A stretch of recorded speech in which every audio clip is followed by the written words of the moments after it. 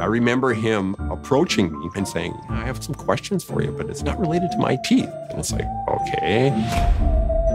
I never thought he would use this for that. It's not known throughout the church at all. they, they wouldn't believe you. We don't bring it up. Right. So that was my mom and dad. Before I tell you about my parents' secret room full of nipples, let me tell you a little bit more about them. What were your first impressions of dad? Not quite cool enough, you know. That's right. She was a hippie. You know how they say opposites attract. My dad was an entrepreneur. Peter, business stuff on it. Mom is always there helping him with his other business ventures. Hello. To say we grew up conservative was definitely an understatement. Well, we're all rich, aren't we? We're rich in the Lord. He catches the one kiss of the episode, and the show is now banned. As parents and as business partners, they were inseparable. The phone rang and it was doctor telling me the results came back cancer and you'll have to have surgery within the next couple weeks.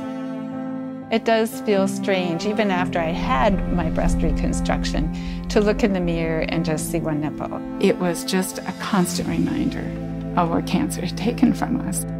There is no good way to reconstruct the nipple. And I said, well, can I figure this out? There was just all of these like swatches and swabs. It was like very clear he just like didn't want us in there. Brian's personality is one not to accept the status quo. The doctor saw that and was pretty impressed. He was amazed. Wow! There's clearly a need out there. And they jumped into it.